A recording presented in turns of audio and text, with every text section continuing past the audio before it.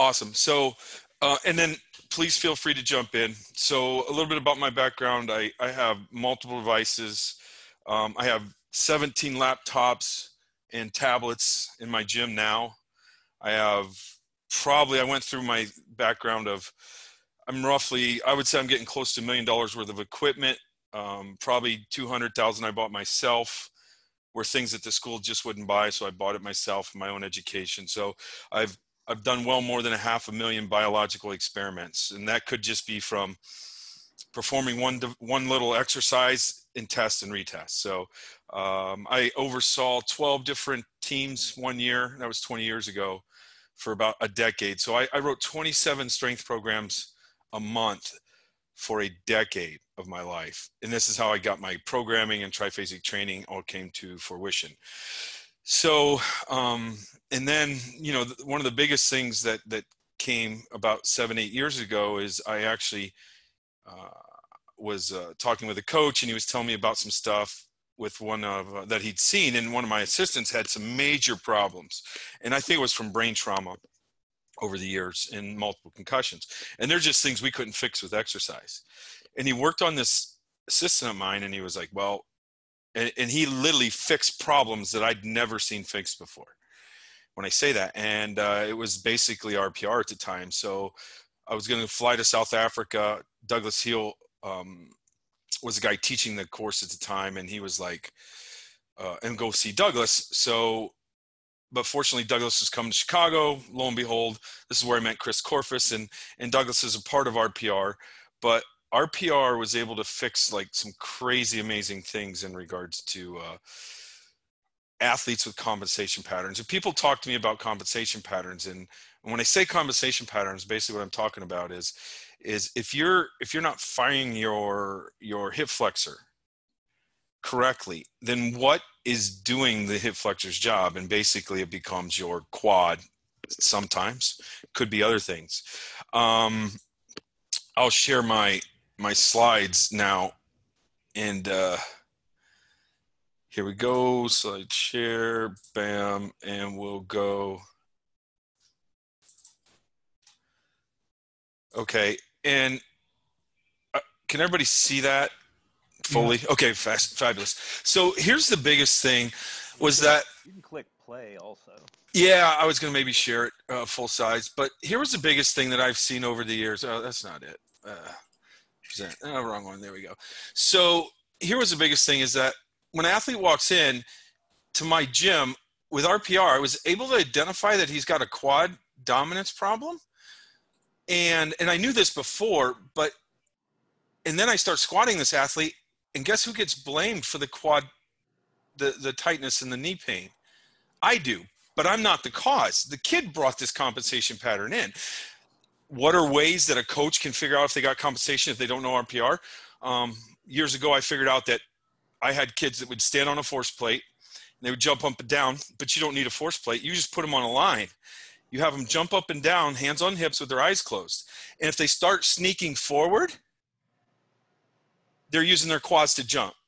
And what you'll see when that athlete runs, let's say um, runs down the uh, track, and I've actually just noticed it in a lot of other drills that I've picked up. But uh, everyone knows what Deion Sanders. You know, does everyone when I say that that straight-legged Deion run when he goes to score a touchdown, he's running straight-legged. You know, kind of like.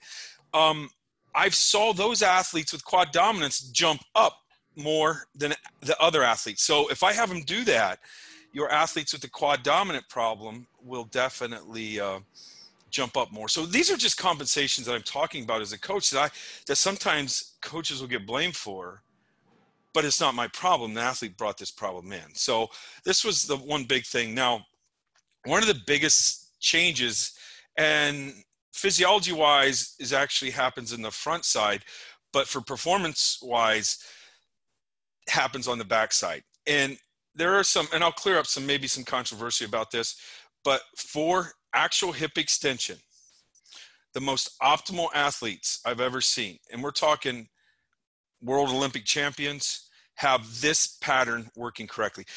Um, and, I'll, and I'll clarify some of the science, in my opinion, is that this glute right here fires first with hip extension. Then this hamstring has to fire correctly right after it. And then for balance of the body and the differentiation between upper and lower, this contralateral QL, I'm sorry, this contralateral QL is what stabilizes the upper body, helps. And then you can you, you have this whole sling that runs through the upper body. We're not going to get into that today. But this is an optimal pattern. And the second I can get somebody to this pattern, they've always ran faster and jumped higher. So for example, and, and I'm using I'll use the quad since I but on the front side, if they're a quad dominant person, a lot of times they won't have this glute pattern either. They'll actually have a hamstring pattern, which is this one right here, okay? But my point to you is that if I can get this pattern corrected and the quad dominance pattern corrected on the front side, my track athletes eight years ago, guess what happened to them? Their quads got smaller and they ran faster and jumped higher because we took the compensation patterns out.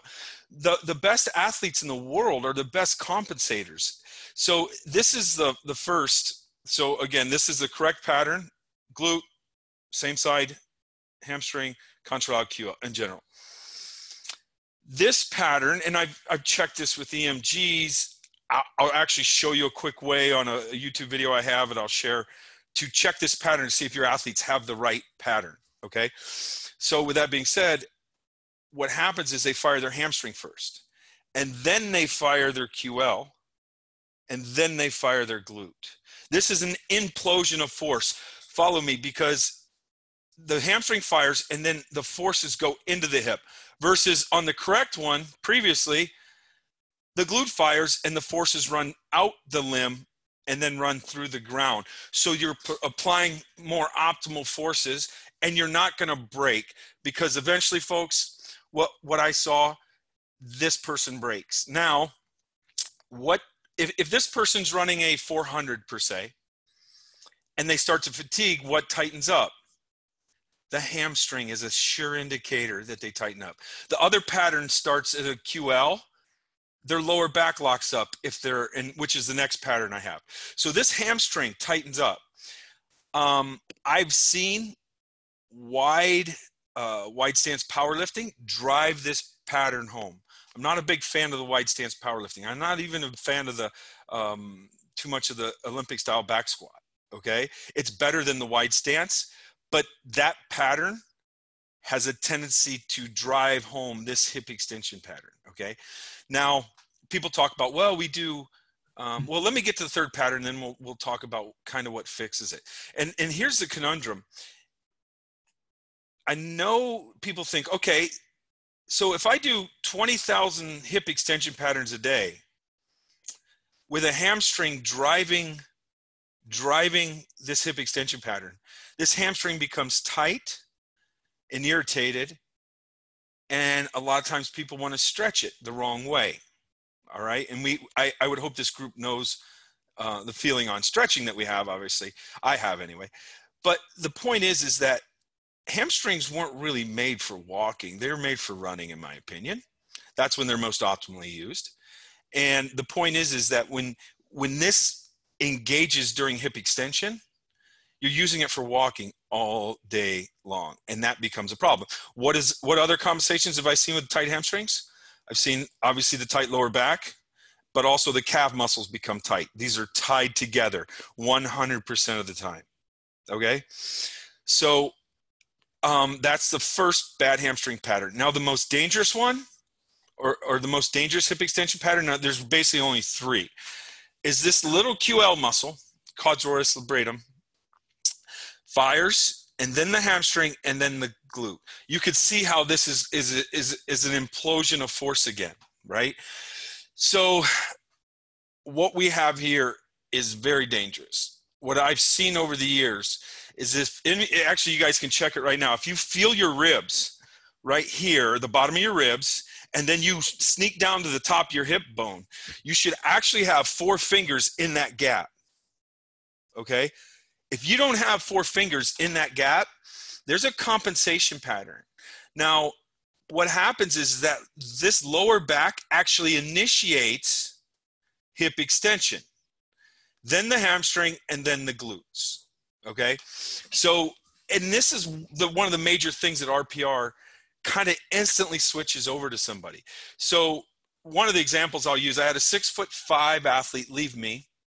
He was a $25 million athlete at the time. Now he's worth more. His lower rib and his hip, oops, I'm sorry, his hip bone was five fingers apart. Okay. He starts skating with his team in training. And I'll probably go on a rant here, folks, but here's what I've seen core bracing do. I've seen an athlete in my gym with a great pattern, right here, the normal pattern. We've experimented on multiple people, brace their core the way they're coached to, and they instantly go from a healthy glute pattern to the incorrect glute pattern. I never believed in 20 years core bracing was was the correct thing to do. Why? I just tested it. I had every one of my athletes run a 20 yard dash and a 40 yard dash bracing their core. Guess what? Every time got slower. I had all my athletes brace their glutes and do a bench press. And 100, over 100 athletes checked. Then I had them brace their core. Guess what happened to the bar speed? It slows down. Okay? People forget that the core, which I'm going to circle right here, is actually connected to the hips. The hip is the foundation of everything. Okay? All my high performers, hips function correctly. Why are, and even my baseball pitchers, I had some 90 some mile an hour athletes that throw the ball 90 miles an hour, lost seven to eight miles per hour when they braced their core when they tried to pitch. So my question was always, why do we do core bracing? It actually screws up the muscle patterns. We, you, what happens, in my opinion, folks, if these hips are in the right functioning correctly, the core braces itself exactly how fast it's supposed to, and I'll get into that. Now, this this six foot five hockey player went to a place where they braced their core. That's all they taught him, even when they skate. Four months later, I saw him on TV, texted him, was like, "You have a problem, major problem." He had this skating pattern. I can actually nowadays I can see these patterns when people move. I know what their problem is. And I said, "You have a major problem. We got to get you fixed up. I can send somebody. I can't do it myself." He says, "Okay." 2 weeks later, he texts me he's like it's too late. I'm like, "What?" He's like, "I just blew my back out." And long story short, when he came to see me before surgery, his top hip bone instead of four fingers between the top hip bone and the hip rib, he actually had five. The top hip bone had tucked inside his hips. And he lost two inches off his height. I've seen this pattern cause these problems all the time. Now, people say, well, we activate our glutes. All these glute activation exercises, and I can I'll post a video in the chat about it. I've actually checked them. I've never seen one glute activation exercise fix this pattern. Even if you get it right, this pattern, if this is what you normally uh, have in your daily gait, will not be changed. Let's say in the weight room you do 60 glute exercises that you actually get it right. And then you do your exercises in the weight room that you actually get the pattern right. But you your athlete goes and walks 3000 steps or 10,000 that day with this, you erase everything that you did that was good. Um, there was my rant on core bracing. So people ask me, well, how do I how do I work my core? You need to squeeze your glutes first. And then the right pattern comes into place, and then you work your ab muscles. Okay? So if somebody's gonna come to me and they're gonna push me, I actually have to brace my glutes if I'm standing before I can brace my core. So I think we look at I'm gonna be honest with you. I think we look at sports performance the wrong way. We still have to realize it's survival. So when people talk about survival, the brain, the body will, will protect the brain first and its eyes. This is our natural reaction because it's the brain's inside the skull. The eyes are outside the skull. They're still part of the brain. Then the second most important thing on that level is the spine. So when people talk about the core, they're actually talking about these spinal erectors. Okay. These things only function correctly if this hip pattern is correct in this firing sequence. This is crazy. We just caught this. This glute med muscle right here if it is not working correctly for hip stability, lateral movement, everything that that has to do in my eyes with balance, the opposite erector in every one of my athletes was completely locked down. Completely locked down. So if I check your glute med muscle, and all, all I'm when I say that, I'm just laying the athlete down. I'm at their legs. I grab their feet. They lift their leg out. They're holding and they're on their back. They're trying to hold their their leg out while I just bring it to the midline. And if they have no strength, this glute med muscle is off, which guarantees me if this has happened within the last couple weeks, after about two or three weeks, this will actually start to lock down their entire spine on the opposite side. Why? This is the only way that spine can stabilize. Remember, this is the second thing in the pecking order of survival is the spine. So people talk about, hey, um, you have to think survival and not performance. So when an athlete doesn't have a glute med, what happens? The track coaches, if if they know what the main problem is, will see that this leg, instead of going straight up and down when the athlete runs, will sneak more to the midline of the body. So when you're behind an athlete and you see them, and that right foot sneaks into the midline, this glute med is not working correctly. Okay. Now, here's the, the craziest part about high level RPR. I'm telling you, 90% of the time, that glute med's not working correctly because they have an arch problem.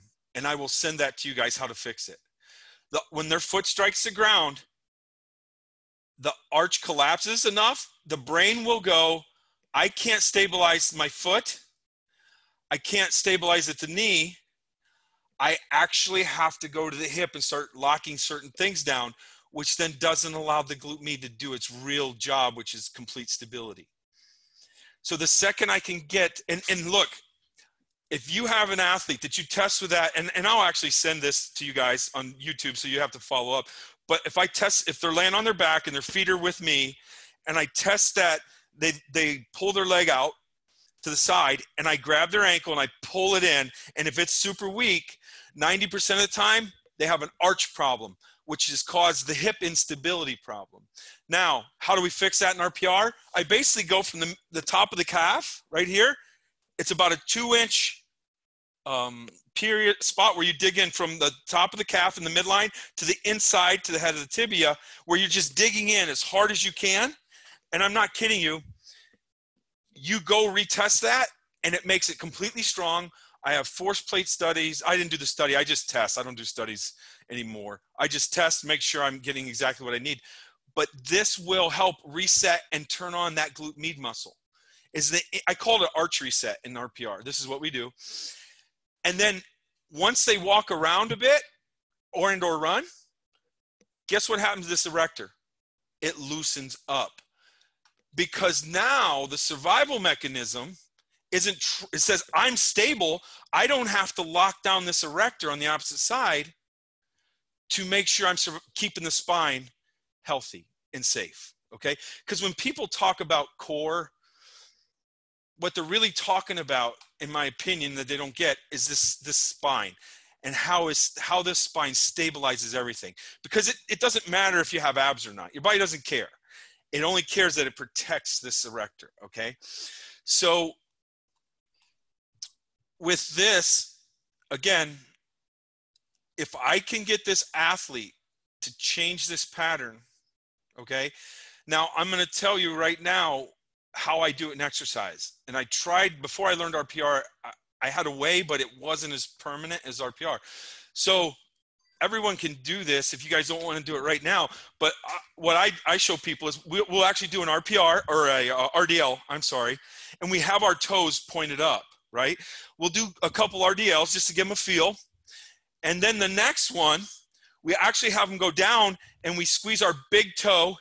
So I squeeze my big toe into the ground when I go to do hip extension.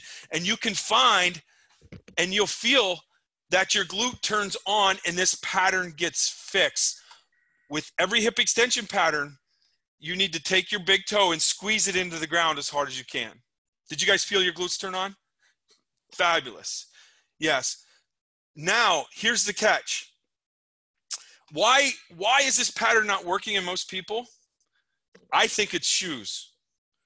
Your shoes shut down that reflex because if you were walking around, you would actually have to grab the big toe grabs the ground and helps propel you forward with the, the right hip extension pattern. Okay.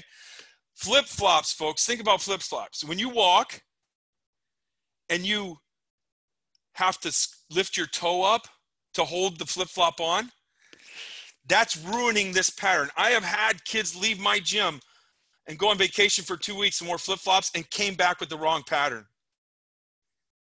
Okay, that's that's the crazy thing about this. So when do I do this? Look, I every every squat that we do on the way up, we squeeze the big toe. It's called the Babinski reflex. Does everybody know when when babies are born, they will check, they will scratch the toe or the bottom of their foot to make sure the toe squeezes. They're actually checking the glute okay? So in exercise that's how i fix it. So every everything we do even if it's a pull up we squeeze we curl the toe we squeeze the glute and we do a pull up why? Because if i was going to pull something in nature my glute if i'm standing my glute has to stabilize my entire body and then i can pull somebody or pull something. So people think those kipping pull-ups might be bad, it's actually the real pattern that your body wants to perform with. Okay. Um, when we bench, we squeeze our toes into the ground, which causes our butt to fire, which then allows the bar to move faster 100% of the time. Okay. So every exercise that I do from core training, we definitely do the, uh, we squeeze the toe. Now, here's how we fix it with RPR um, when I was talking, there's two spots to turn those glutes on with RPR. Okay. Um, I believe, uh, let me, um, well, I can just show you. So the first one is right behind the jaw. So if I'm right under my ear, if I go right behind the jaw and I was kind of going to like fish hook myself, and I get right behind my jaw and I dig into that tender spot right right behind the jawbone. So I'm pushing against my jawbone right here underneath my ear. It's really tender and I just circle it and I push in and kind of make it really uncomfortable. So if you're looking at me, I'm, I'm like this. This will actually take that pattern and make it correct. Okay. Now the next one is basically the, the ridge of the skull. So right underneath your skull, you're going to go, make, make sure I'm in, yep, I'm in camera view. You're going to go and go from the middle of the skull, right at the bottom of the neck, and go all the way underneath your, your entire skull along the ridge. And you're just going like this, and you're just rubbing it back and forth, probably in one inch movements. Don't pull your hair out. Okay? And these are fascia resets. These are neural lymphatic reset that will ingrain that pattern. Okay.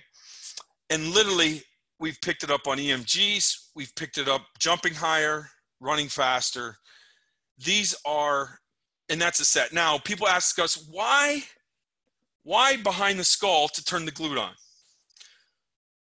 We think it comes back to the primal stuff when you're how you develop in your baby.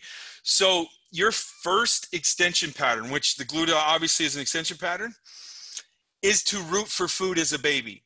This is why we feel so those muscles underneath your neck, right behind the, the jaw, is your first hip extension pattern or is your first extension pattern. So this is why we think that behind the skull turns the glute on. The second extension pattern you do is to open your mouth to eat. And that's why we believe the one behind the jaw is associated with hip extension pattern. So, um, gosh, I'm a little bit um, lost on um, it, the the the PT's name that did all the work with the the kids in Eastern blocks. But um, this is you know this is where we believe it comes from. This is the, basically the foundational part of uh, all these reflexes, and this is why that's where we think it's at. So, how long does RPR last? Let's say you do that. I've had athletes it lasts weeks, months. If you have an injury, let's say you injure your ankle, it shuts down your glute it, and then you could turn it on for three or four hours so during a game i got a kid that takes a puck into the knee or the foot glute shut off. He'll RPR again to turn this glute on. And it'll last three or four hours, but eventually the pain shuts it off. The brain goes, I got to override this because the pain's too great. So um, I can show you some of the crazy causes. So, like, for example, this is not me. Um, we have a breathing reset. This was not my coach. Uh, well, here, here's an example. I have one of my three time Olympians. She did this bike workout. She basically did 160 beats per minute. And this was her standard bike workout. The first day she tried RPR, that same bike workout with the same watts, if she was tired, she'd be 165. If she felt good, maybe 158. Her resting heart rate is at 148, doing the same workout. Okay.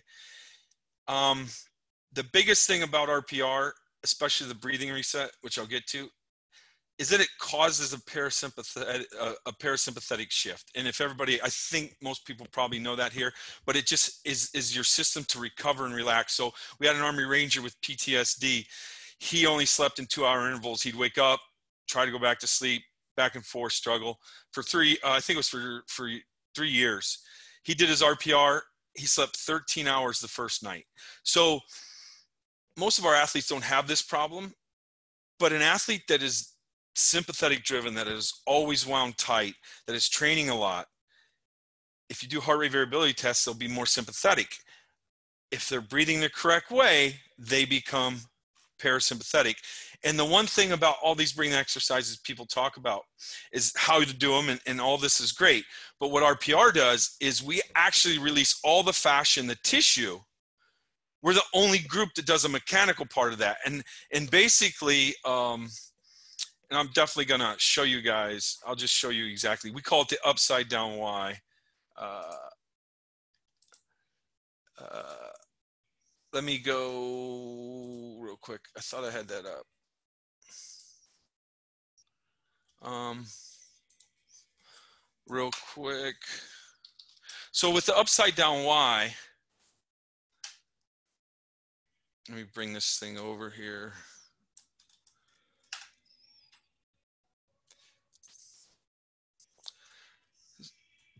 I just want to give you a good graphic of it just so you can see it. So basically here it is. So you can see, uh, let me mm, peel this off, get it out of your way. I'm sorry I had that. So this upside down Y, what, what you do here basically is you take your finger and you start at the top of the diaphragm and in one inch intervals you're just going one inch at a time moving your skin back and forth i would say the resistance is about as much as you would push against your hand till your hand starts to push back like a like a steak and then you're just rubbing this area all the way down to the bottom of the sternum and then what you do is you find your ribs and you rub right along the edge of the ribs, just off the edge. I call it a cliffhanger. And you go down about five or six inches. And when we do that, we also recommend that you're breathing. And how we recommend you breathe when you are uh, doing RPR is you breathe in through your nose and out your mouth. I recommend that when you're doing RPR. At rest, you should breathe in and out your mouth or in and out your nose your entire life. That's what we tell people. Heart rate variability readings are much better. Recovery causes nitrous oxide. A ton of my athletes, I have them breathe with their, their uh, sleep with their mouth taped shut at night. Why? Because they're mouth breathers. So if you breathe, if you wake up in the morning with dry breath, with a dry mouth, you are mouth breathing too much. Okay, you're mouth breathing and you're not getting full recovery. Your heart rate var- variability is bad. The ability to recover is lessened. You wake up in a sympathetic state okay? So that um, i would say you probably spend about a minute the first time you're doing this. And, and the biggest thing with rpr what we do is we're releasing all this fascia and this is a neurolymphatic uh, flush reset. And all this tissue starts to loosen up. So um, after a few RPR sessions where the athlete have done it themselves for a, a week, a week or two, we've I've measured it and I've gotten an inch and a half increase out of the diameter diameter of their rib cage because of this. That's how sympathetic and tight this tissue was. These are compensation patterns. Um, research has just came out 90% of most Americans have a dysfunctional breathing pattern. What are they not doing? They're not belly breathing, basically. Belly breathing will push you in a more relaxed state, calm you down, um, and let me uh, let me show you some of the crazy things that we have done with just the breathing alone. So, for example, this athlete failed his running test for college athletics. This is he ran 200s, and you can see he was in the top two heart rate zones, and he failed. Six days later, same athlete, same test, couldn't get in that much shape. It's impossible to get in that good of a shape. Okay, he was in his top two heart rate zones were in 83% of the time. Six days later, after six bouts of RPR, he is only in the third. He only spent heart rate zone was in the top two or top two heart rate zones 30% of the time. There's the compare. This is the same athlete doing the same test six days apart. This was before and after RPR of six days of implementing it on his own. People ask, well, so the, Cal, so Cal, yeah. what are you saying is that you're doing a parasympathetic reset? Uh, with the breathing, it can be yes. Now, yeah. Yeah. now, but but here's the thing: if you can, so my best athletes I've ever coached, when I watch them with all these heart rate variability devices and heart rate mm-hmm. monitors, they all run hard on this 200 the best athletes can shift into a parasympathetic state, even if it's 20 seconds in between the next set, to be able to do it again. So you can see here, he was not able to shift down and recover, where six days later he was. Okay? The best athletes can go from a sympathetic state. So you're basically helping turn off the sympathetic system. Yes. Exactly. Overloaded the sympathetic system is overloaded because of not only the breathing patterns, tension in the muscles, compensatory shifts, fascial stress yep. on the muscles themselves, which will affect the oxygenation, which will affect circulation. Yep. So, what you're basically doing is trying to shut down the sympathetic and just basically reset the parasympathetic, correct? I well, yes, from a from a biological perspective in the human that's what you want to do when the workout's over. I even want it to happen in between each set because then each set you can coach the athlete better. They actually because because uh, the research has shown if you're in this heart heart rate zone up here, you can't learn, you can barely function, and you're you're not going to be optimal at performance. If you can in between each set calm yourself down, this athlete's going to learn and train and be able to be coached. This athlete is not. So you're you're correct with everything you said. I even look at it as um, trainability. When this athlete, it probably took him three days to recover from this workout. Six days later, when he did the same workout, it probably took him a few hours to recover from this workout. That's the biggest difference. So the amount of work an athlete can do, but but look. Well, let me throw something else at you then. Yes, so, sir.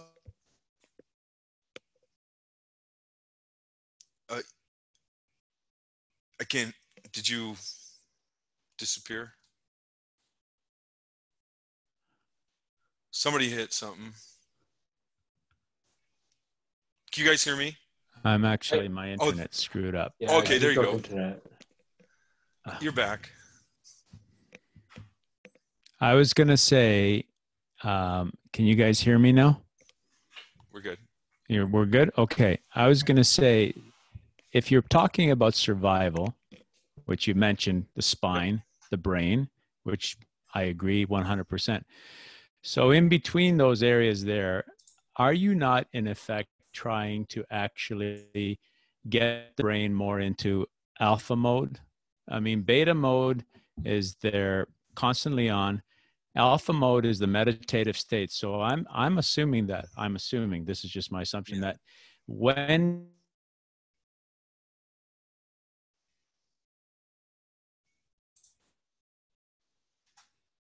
the meditative state, but also the state of more receptiveness. You know. That's Yes. what I'm seeing. If, Um, i- i- I could be wrong. I don't. I think that's a good analogy. I think you're just in a more calm beta state, and you're getting close to alpha. And maybe Oh. maybe they do, right? But I, I'm not sure. So, for example, when one of my athletes come out of the squat rack and their heart rate's 200, but and then Uh-huh. 40 seconds later, uh, it was an Olympic caliber wrestler that I was dealing with. He was at 67 in 40 seconds he Mhm. can make decisions and you're right you want them to be able to be in that control. Some of the elite military units that i've worked with what they think separates the 1% of the 1% we're talking you're talking a class of 120 special forces soldiers try out for a special group and only three of those make it that are already they're already navy seals rangers green berets and only three to five make it. One of the things is that those people can run into a room make all the right decisions a door opens up they run to the next room make all the right decisions and after seven or eight rooms they remember what happens on the third shot of the fourth room. What color was the hat on that guy? And this is the calmness is that we're, we're talking about. Whether it's just cognition or trainability this is the big factor in my opinion that separates some of the most elite people they remain calm and and this will help right? I'm not saying this is the only reason because the, the brain drives some of this the physiology drives some of this so it, it's not a one-way street to say the least. But yes you are exactly right. Um you you i guess you see my point so like here's one of my hrvs that i did in 2014 even and this is an Omegawave reading and sevens are best on this scale. This athlete's readiness wasn't very good sevens are best so his, his fatigue his stress was a little high his fatigue index was high.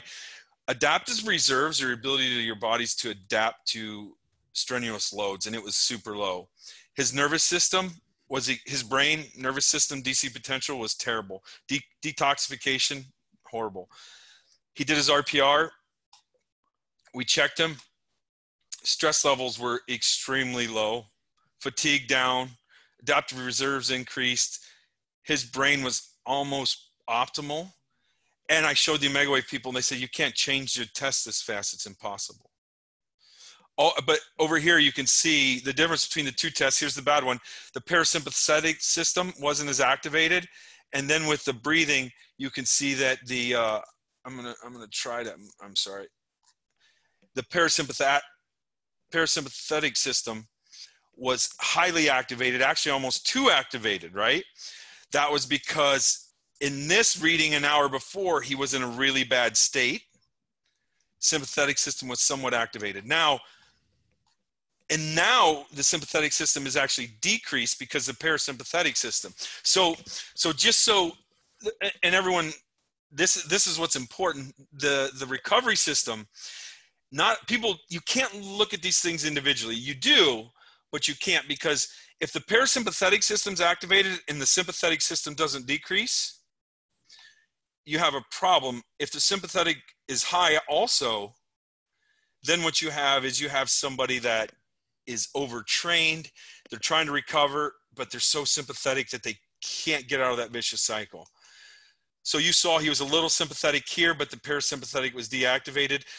I had a feeling he was hungover and his body was trying to get over the hangover. And this is a professional athlete, and he was. Once I got the test and after I checked everything, I asked him, "Were you hungover?" And he was with some of these readings, right? So, bottom line is, is um, you know, and these are just some of my interactions between the the heart rate variability and the parasympathetic and the sympathetic. Um, um, this is a couple stories. To be honest with you, one one one thing I found in an older adult, a buddy of mine asked me to check him. Parasympathetic system was super low, sympathetic system super low, and an 80 year old pretty much means that you're done because your body doesn't have the ability to recover and your body can't doesn't have enough ability to like kick itself into gear to survive and it was, it was literally a couple weeks and his uh, father passed away after I checked him. So I, another guy was like, Hey, I'm, I just got this feeling my, my, and he was actually a chiropractor. His dad, all of a sudden, all his flexors started like coming on. Right. So you go in the old folks home and you see all these people, they're, they're like, everything's coming forward is because the extensors are shut off. Your extensors are coordinated with the parasympathetic system. So the parasympathetic system shuts off and your extensor muscles also shut off. And when you don't have ability to respond to stress and your, your sympathetic system's worn out and you're old, I, will be honest with you. I'm pretty sure that you're on the uh, you're on the last stretch of your life because I, I checked some 90 year olds and these things were balanced. These were very balanced. Okay, and and you can see it when somebody starts to their their, their hands become more like even my pro uh, athletes. I've seen athletes overtrained and their hands they walk around with their hands curled that's because the extensor system parasympathetic shifted off and the sympathetic system ties into the flexors and they're they're like this and as a baby, you're like this. We spend our whole life trying to open up, get to extension. And then when it's basically over towards the end of life, you'll see people start to curl up. And that's when you know. that's, a, that's the same thing with a person that's had a, um, a stroke. You're exactly the, right. The flexors take over. They're the strongest muscle groups in our bodies. Right. You know. But it's because that, that, parasympathetic yep. system isn't working correctly. I think it's because the brain says, I've had some major trauma. I'm stressed out and the flexors kick in and the par- eventually the parasympathetic system wears out. Does that make sense? That's my thinking.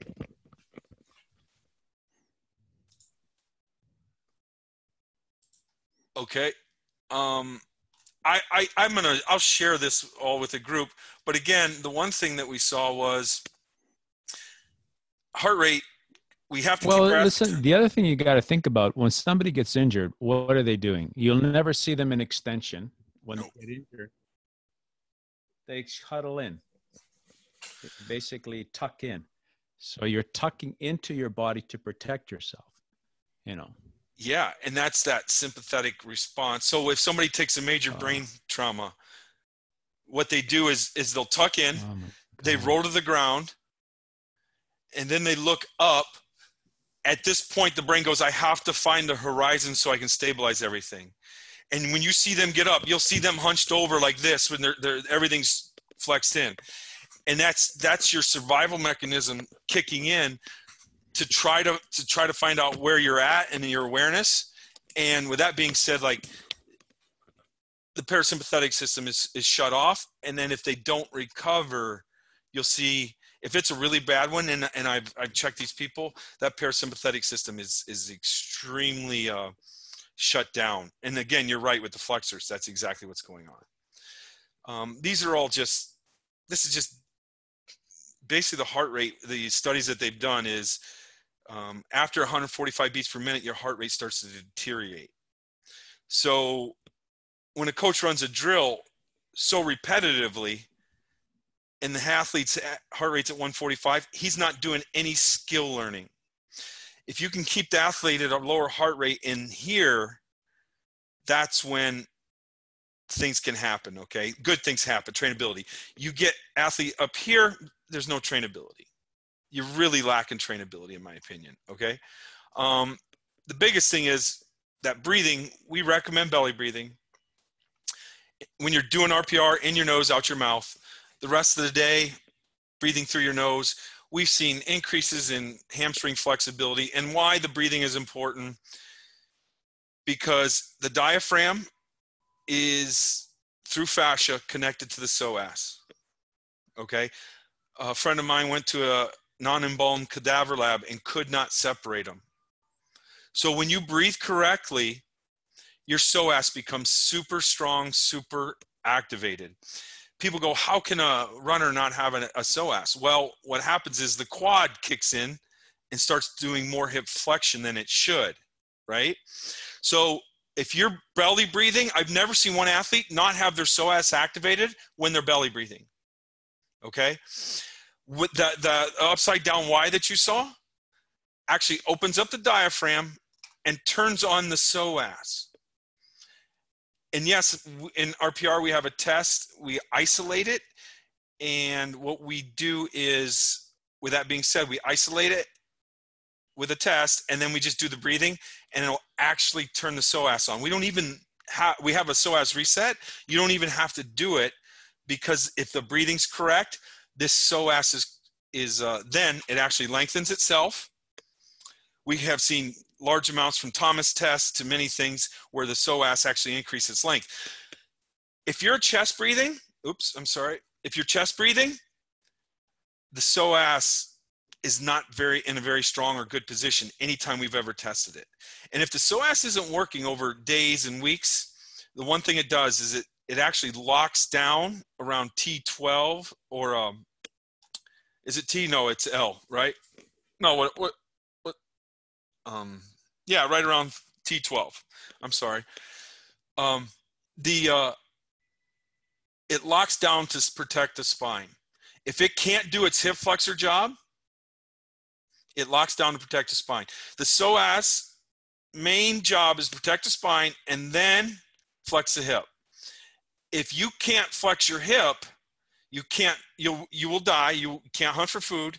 You can't make babies, and the species will die. So it has ways to get around that. Okay, and that's why the quad dominant person comes into play. And that was one of the big things that we actually fixed that.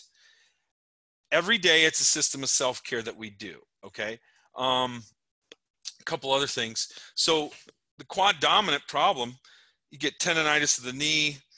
What happens with the quad dominant athlete is if the if the knee if the quad's main job is to do hip extent or uh, knee extension, but it also has to do hip flexion.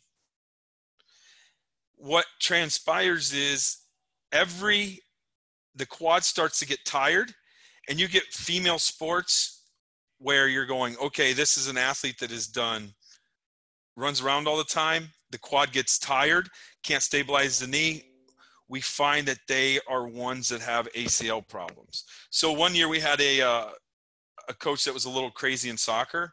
She had five ACL problems.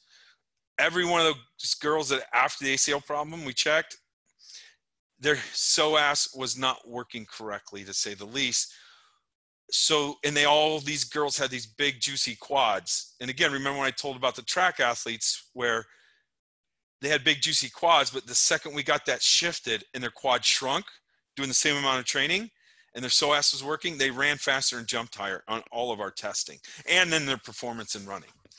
So again what you'll see is forward uh, posture of the shoulders right? The ribs are pulled down. Lots of instability in running, but that lumbar spine becomes tight. And these athletes will actually lock down their spine when you have a dysfunctional psoas not working. Um, I know I threw a lot at you on that. Are there any questions in regards to? I've got a question for you, Cal. Yes, sir. Um, I was um, I was actually talking to I know Chris Korfist. Oh yeah, yep. And uh, we we we were actually he was um, trying to bring me onto the benefits of RPR with speed actually. There, there, yeah, there he is without yeah, his guitars. Um, so I was just wondering when you were talking about um, Arch, Glute Med, QL other side. When you if you keep going up the chain, have you noticed an issue upper body causing lower body issues with speed athletes? Are they ipsilateral or are they contralateral? Um, I'm gonna look for. Uh, gonna, let me see if I have a slide here. So basically, I would like to wish it only happened one way, but I, I don't think it does. Let me give you this example. Cool. So eh, let me let me walk you through my the train of of. Uh, so when that arch collapses, so when this arch collapses when we run, what transpires is um, I don't know if I have a good slide. What happens, like I said before, the hip. So when this arch collapses, the brain goes, I can't stabilize. So the hip, the same side hip, starts to lock down. And then it sneaks over to the contralateral QL to stabilize and everything locks down there. Well, then it'll have to cross back over. And, and actually, that contralateral QL is tied to the lat. So, for example, when somebody's running and that arch falls at the foot strike when the arch collapses, what they'll do to stabilize their midsection is to compensate by swinging that arm out. But it's the same arm. It would be the contralateral arm. It's a contralateral. Okay. Yeah, because because if I'm yeah, ran over my cord. So if I'm in the running position and this leg is up, right, and this Mhm. leg's on the ground, it wouldn't be. This one's the up one. It would be knee to knee. I'm sorry, but Yep. just for that. And this this arm, because this foot's on the ground and that foot can't stabilize, what you'll see in many runners is this arm sneaks out Right. and it's can be because this lat's off it's not working correctly but when you track it down it goes to that arch Yep. in my athletes and this is I, I would say it's about 80% of the time. Now it also sneaks over to that opposite shoulder. So can the upper body cause the problem? I think in a pain so follow me here. I had one of my athletes who who and my my hockey players have strong feet things. We do these spring ankle exercises which which chris came up with which i'll, I'll send you guys. They um, they build the arch up so that when it hits the ground it is actually a spring and an arch um, and, and it just re what it does is if your hips and knees are so strong and that arch can't stabilize your brain will actually shut down how much power your feet can produce or so your body will will permit it to produce because if if it your body won't break itself okay? So my athletes are very strong in their arches. We've been doing, doing this stuff for two years. I had an, and here's the example i'm going to give you. I had an athlete take a stick right in the hip flexor right in the hip pointer okay? There was so much pain there that buckled him over he vomited and this was in a hockey game. The next day he came in and we are going to try to see if we get him to play and i don't i didn't think he could but i knew that his everything was shut off in his hip. I checked his ab abduction strength everything was shut off i went to the arch and did a strength test on it and he failed miserably.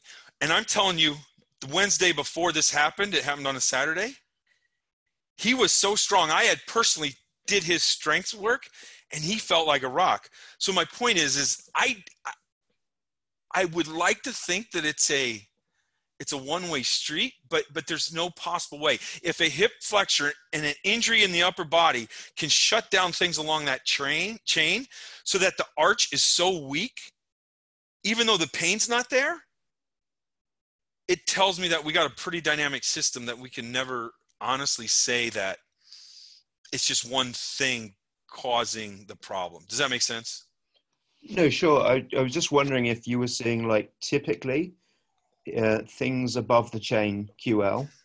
Are they are they more contralateral for the opposite foot?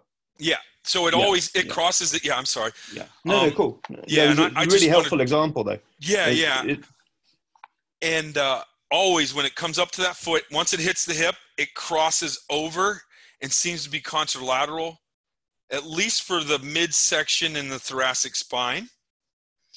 And then remember, some of the shoulder problems can cross back over. So, but but again, that's just in some stability. When you run, it's that opposite side arm that swings out. So then, here's the beauty of the RPR in my opinion, when I, because I've had world class track coaches bring some athletes here, and I don't try to coach them because that's not my.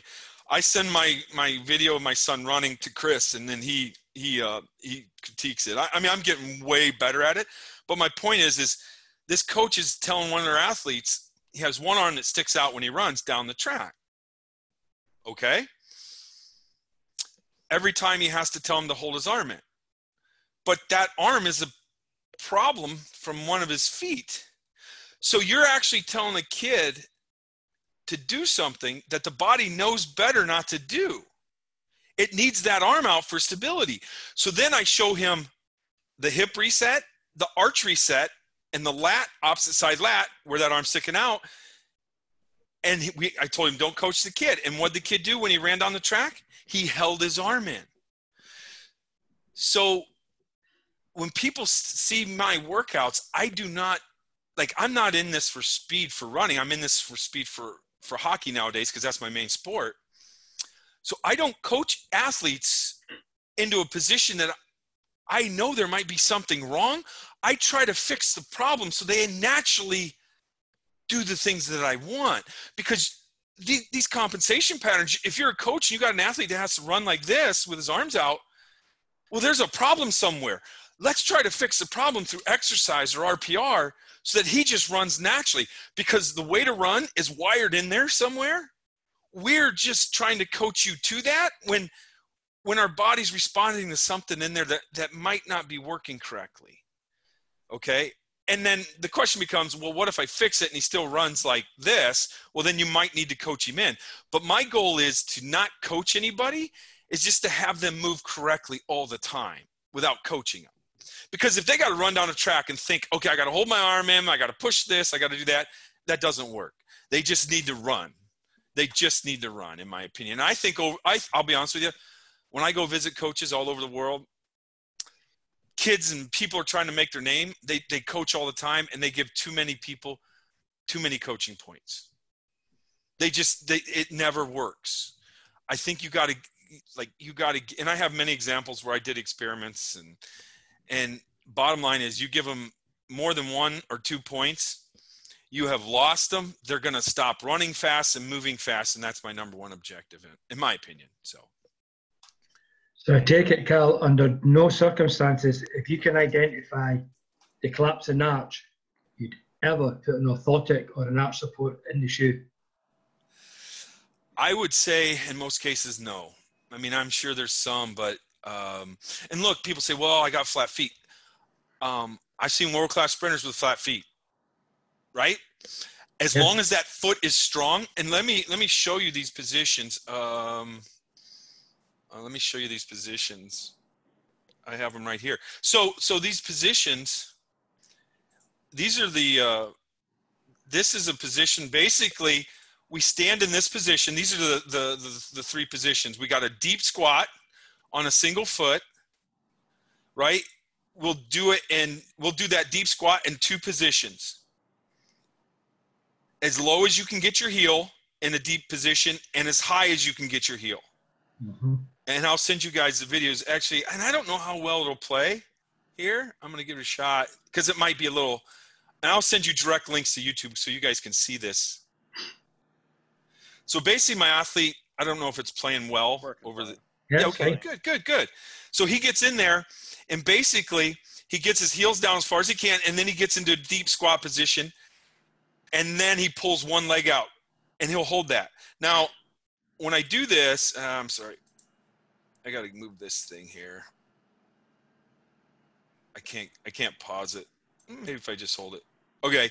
When he's doing this, this is like level 1 where he's doing it 60 seconds. My athletes, I have a 130 pound female that will get in this position and I will put all 250 pounds of my weight and I try to break her for 10 seconds and she can hold this position. And I'm telling you, I never have coached her on running this last summer, and she looked like an absolute machine. Because in my opinion, our weak, our feet are so weak because of the shoes, and we don't walk around the way we're supposed to. That if you strengthen that foot, it will help with many, many problems. And this is the same drill that I'm talking about, where athletes get their feet strong and then their back loosens up, because now they have stability every step. Okay um, that's just there's there's five of these positions. The other position would be that your ankle's super high. Um, let me go to the next one. I think this one's it. Yeah, Cal, position two. Yes. Cal, let me break in for a second. If one, um, I had a, a, high school kid years ago, and everybody told him, no, he can't take his shoes off. He has to wear the arch support. And all that did was continue to make it weak. And he went ahead and we did a lot of grass drills, a lot of walking, walking in sand, some stabilized, like st- yeah. static things like that. Not the same ones; those are great. Right. And he got better, and he's like, "I really enjoy running. I feel great. It doesn't hurt anymore, and he ran right. faster." But second thing, oh, just, oh, wait a minute. well, that's that's the, the problem is you get this thing. No, I'm not allowed. My doctor, my podiatrist, they won't let me do that. Um, second thing is I apologize. I got to get going. I just got some stuff, and I've got to get ready to get it to the kids. I made Tim the actual host so I'm just going to leave. Tim, when you click end meeting, it'll end the recording. So y'all have fun. Okay. Thank you. Thanks, Rich. Cheers, Rich. Thanks, Rich. And, and everybody remember this. This is in the speed manual that you guys were sent. This was the main pro. This is the main thing in those speed manuals that that uh, I sent for free if everybody didn't get the codes. Um, and if, if you guys have a staff or people you want to share more with, just hit me up in an email. I've sold tens of thousands of things. It's like I don't need to sell anymore. I'm not here to right. I'm gonna I'll produce another major book here. I'll sell a bunch of those. Like I'm not worried about that. Um, here's the second position. It's the same deep squat, but you can see that his ankle's in a high position. Okay. And there's basically five of these positions, and it's basically a, two ankle positions, a low and a high, and then just your different squat levels. And folks, I've sold probably 10,000 of these manuals, and I have gotten emails every day since we started selling them on the changes that people have because of their feet's weak. And and look, here I'm going to tie this in. Every one of my and, and look, I've coached 200 seasons of teams. Every freak human I had had super strong feet, which you know what is tied to their butt. The size of their ass if they have strong feet, increases the size of their ass.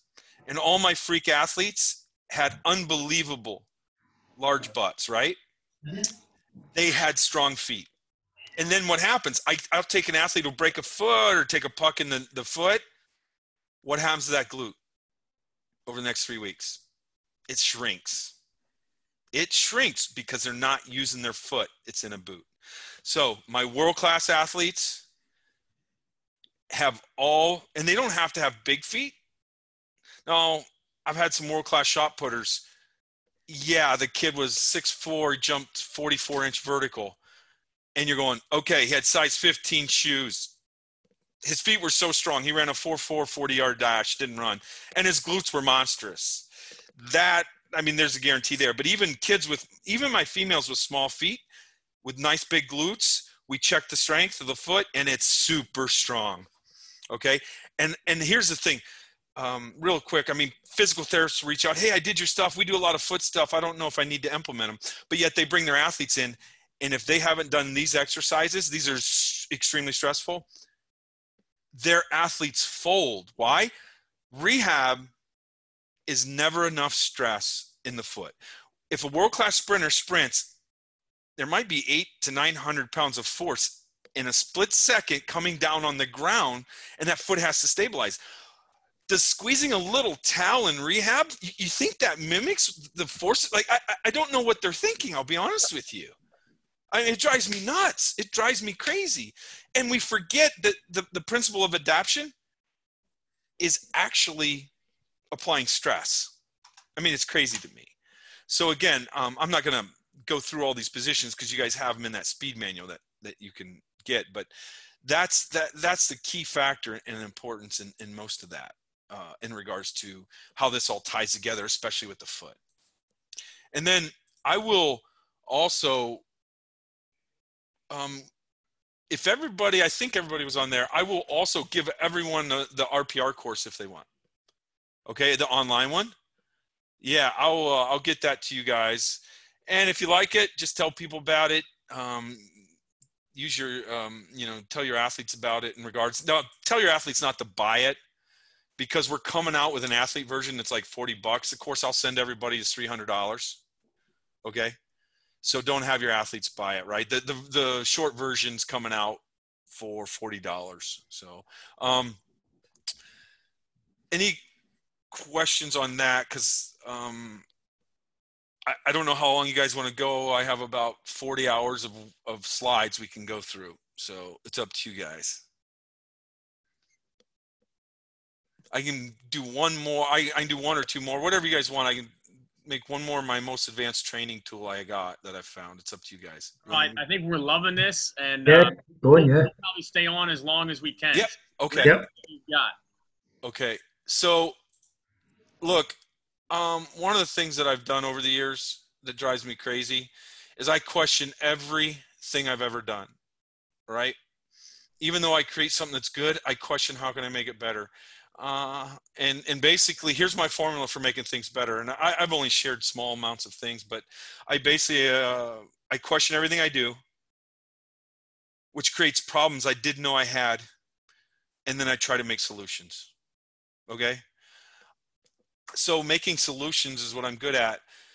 So what I did was I knew I've known for 20 years periodization's flawed. The way we periodize, it's flawed. Um, and here's the thing. I'll jump maybe ahead once.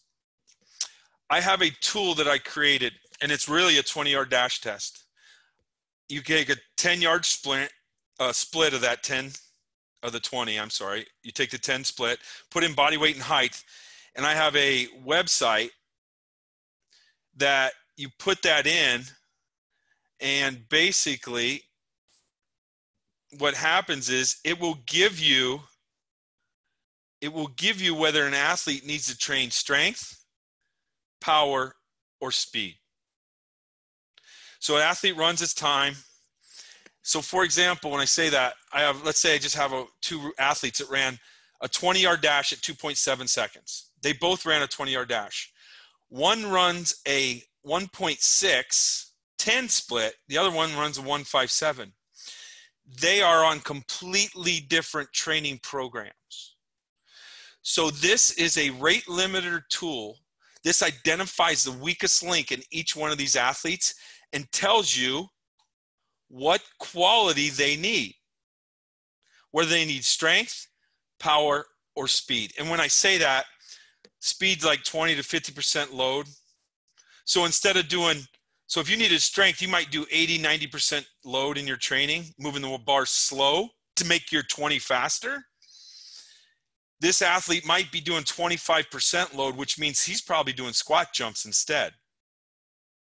You can do the same exercise, but you're just doing a super load and doing squat jumps instead of squats might be your prescription. And here's here's the sad thing. And and look, I'm I knew it was wrong, but I had no answers for it. That periodization was flawed. So what I did was I took athletes every two weeks. I have them run a 20 yard dash, and it tells me what quality they need to do. So my athletes all run on on Monday morning a 20. They I have athletes that have ran the same time, and their friend is doing a different program, and it kind of gets them a little buy buy in. So when I say this, that they ran their 20 meter dash or 20 yards, 20 meters, either or and I laid out their whole summer. And this this wasn't me laying it out. This was their body telling me what I needed to do the next two weeks. And I kept track of everything. Only 20% of the athletes followed the normal periodization models that every organization does. I have an entire video on this. I'm not kidding you. I have only been right. Don't tell my ex wife this, but I've only been right 20% of the time. All right, I'm not kidding. and uh, and she probably would agree with that. Maybe a little less, but and she's an amazing person. Here's the thing: the periodization models that we use. I'm talking to every organization, NSCA, track and field. The typical periodization only worked optimally for 20% of my athletes. That was I had 50 that last summer. I had coaches that checked over 200 of their athletes that use this tool. Only 20% of the people followed the, the basic periodization models. If we took that periodization model and flipped it backwards, we would have got it more right for people. So, and then the other 50% of people just did a mixture. Like they do strength and then they do speed and they go back to strength. They didn't follow any plan that, that we know of, but it was their plan. And again, this just, you train power for two weeks. And then when you run your test, you may get another power reading for the next two weeks.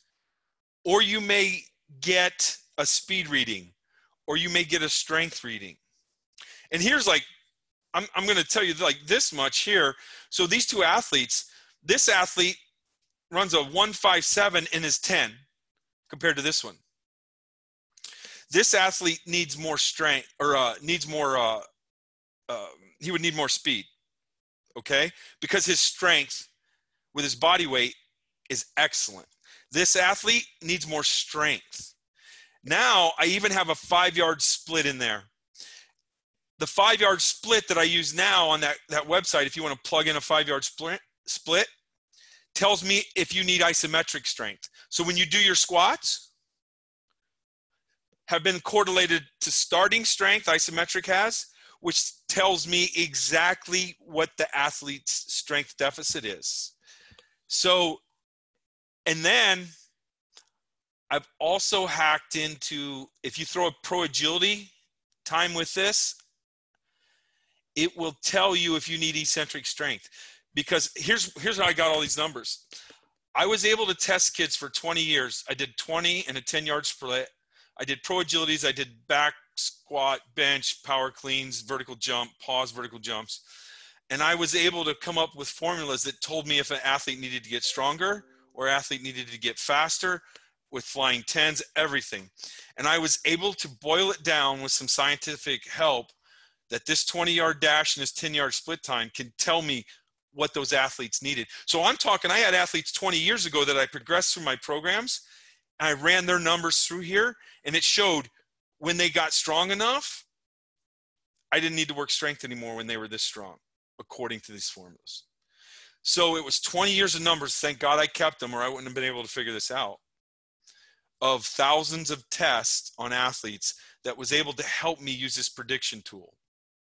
Um, I'll send you guys this slide so that you can uh, take a look at it. But again, if uh, I use I use 1080, so I, I actually did this for them. But you can see here, athlete one, they may be the same athlete or not. They may run the same times, but a young athlete might need strength for two weeks, power, speed, and then back to power. Old athlete might be more speed stuff in the weight room, power, strength, and then speed. My point is, is I test in two week blocks, and here's the deal: everything I've tested with advanced athletes, after two weeks, if he did a power block, I can't get any more return of benefits out of the power block after two weeks.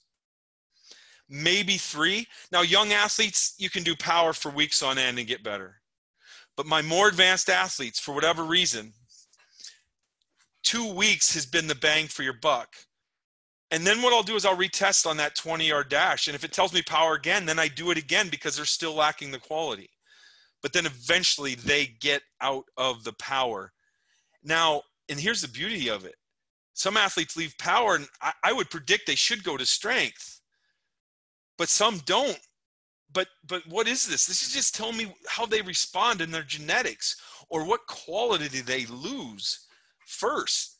Like I have I have females that'll lose strength so fast where my males they don't seem to move, lose strength as fast so they'll come out of power and almost always have to hit speed where my females will lose strength more often. But but I'm going to tell you this much: my females actually retain power. So once we go from power with my female to strength, they always follow up with a few speed sessions.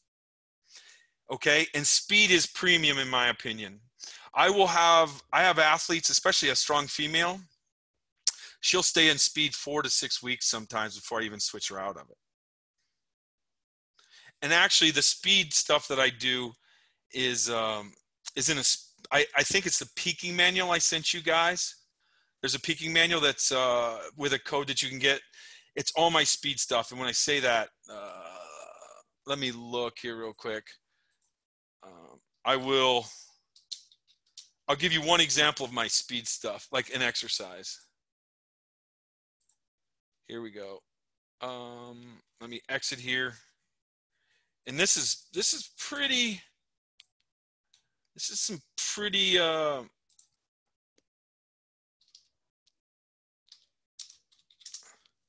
let me see um let's see uh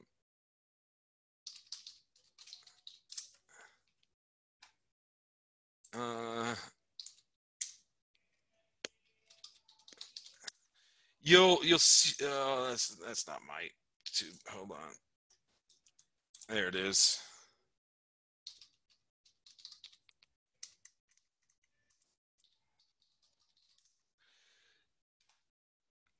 Yeah, so like this one. Are you guys able to see that video? Yeah. So this thing so this is just a single leg one, which is more power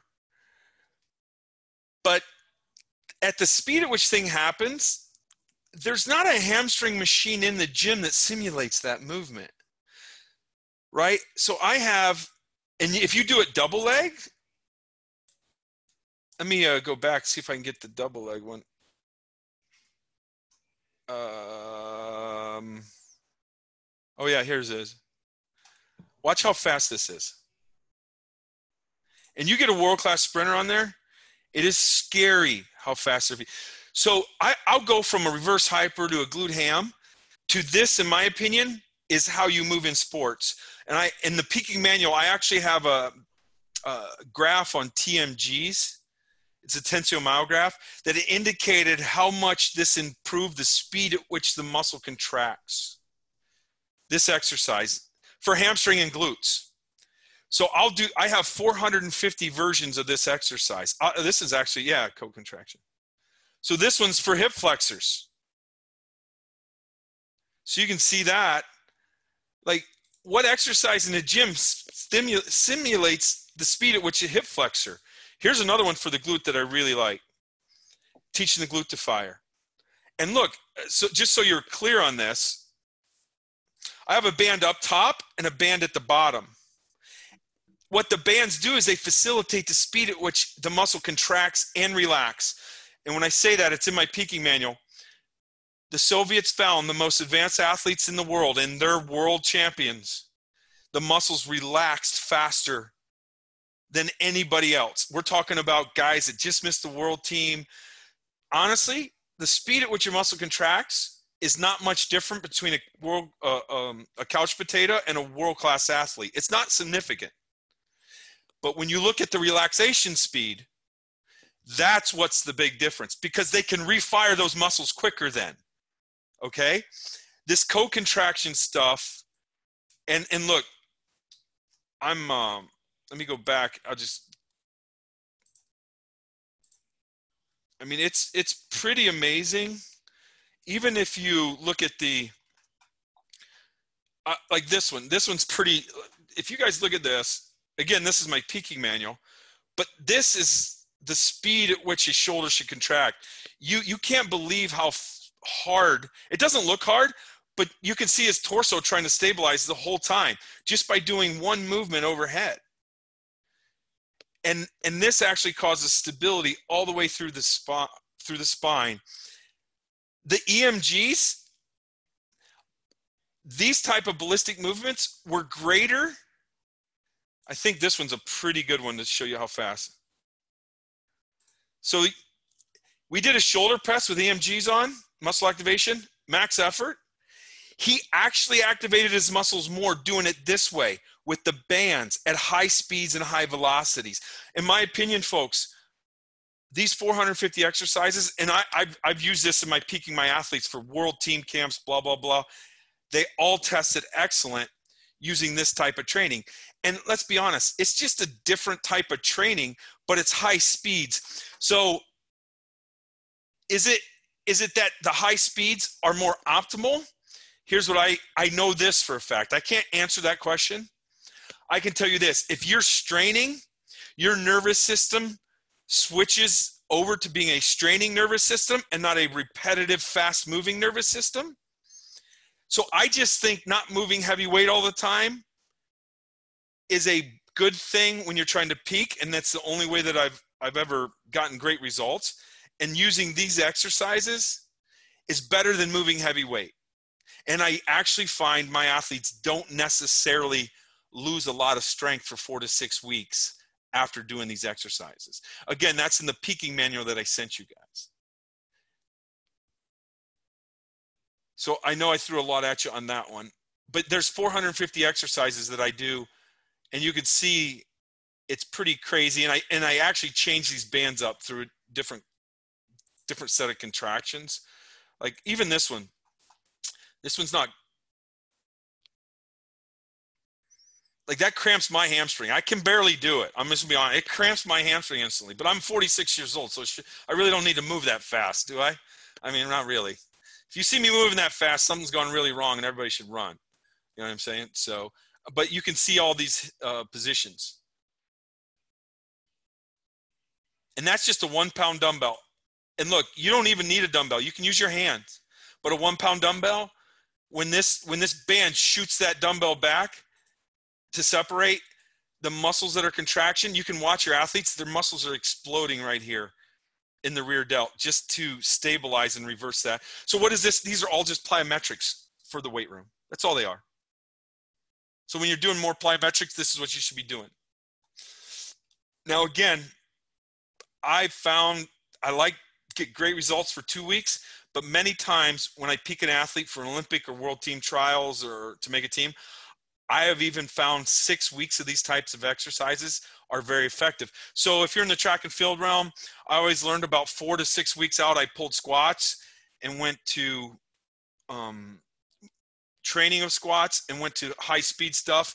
This is the kind of stuff, especially those hamstring kicks, those hip extensions. Now, people say, well, my athletes like to do heavy squats and they feel good. They feel good because they get a hormonal response. So, have them do one or two reps of a heavy movement, but then do a majority of their movements with these types of movements in their program. Okay. I'm not going to dis- disclaim that doing some heavy weights are benefit and it's really what I found. It's only a hormonal benefit that this works well, but you know, ultimately, um, I think the best thing that we can do is is um, take a look at this peaking method for our athletes because again, it's less of an irritant if it's not mimicking the speed at which everything happens. But but folks, the speed at which things happen on the the court or in the track and field world are crazy and we don't do anything like that in the weight room. I'll just be honest with you. That's always been my concern. Any questions? Hey guys. Yeah, yeah. Guys, pardon. Even though I made him host and I left, it just told me I can't open my meeting with my team until this one's ended. Okay. I apologize. I got to end it now. That's the way this stupid system works. So. Well, hey, Sorry. we'll end this. We loved having you on. This was awesome. Thank All you. Yeah. Yeah. Thanks, Kyle. That was brilliant. Well, look through some of those those uh, things, and then I'll uh, send an RPR for you guys. Thanks, and then, Kyle. Uh, yeah, and then we'll, we can always circle back at some other time when you have more questions, and, I'm, and I may try to jump in these. Okay. Sounds All good. right. Thanks, Cal. Thanks. Thanks for time. Thanks a million. That was fantastic. Awesome. Thank you. Thank you. Appreciate. It. Enjoy you guys. Bye. Thank you very much.